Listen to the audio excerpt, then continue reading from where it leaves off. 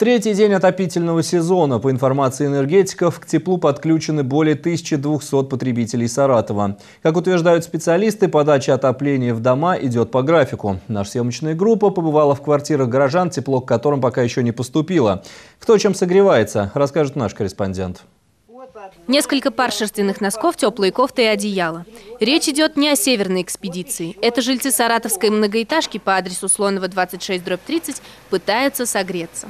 Вот кофты, носки теплые, теплые эти, э, как штаны такие вязаные теплые, ну юбка и вот кофта на мне две.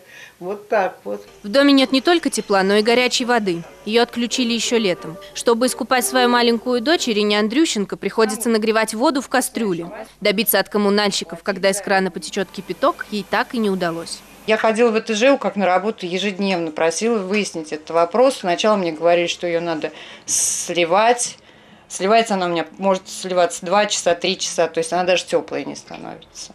Как с этим бороться, просто не знаю. Все люди, конечно, как бы ну, в ужасе, потому что сейчас уже холодно, она просто ледяная идет. Похожая ситуация и на улице Новоузенская. Вера Федоровна говорит, нет ни горячей воды, ни отопления.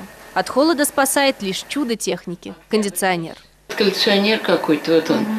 И вот он, и вот он, спасибо вам, немножко вот меня обогрел. Горячей воды нет, потому что ремонтируют теплотрассу, говорят жители. Их слова подтверждают и энергетики. И обещают, горячее водоснабжение в дома поступит в ближайшие дни. Что касается отопления, то график подключения необходимо уточнять в управляющей компании. На сегодняшний день подключено у нас из 4588 э, потребителей, подключено больше 1200 потребителей. По графику мы планировали до 18 октября закончить полный разворот Э, всех сетей, и в том числе и подключение всех потребителей. Ну вот по просьбе администрации города сроки будем сокращать.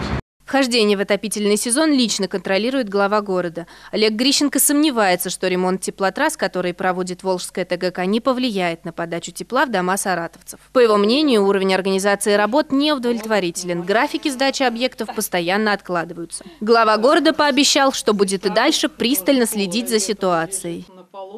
Варвара Алексеева, Алексей Фенин, РЕН-ТВ «Саратов».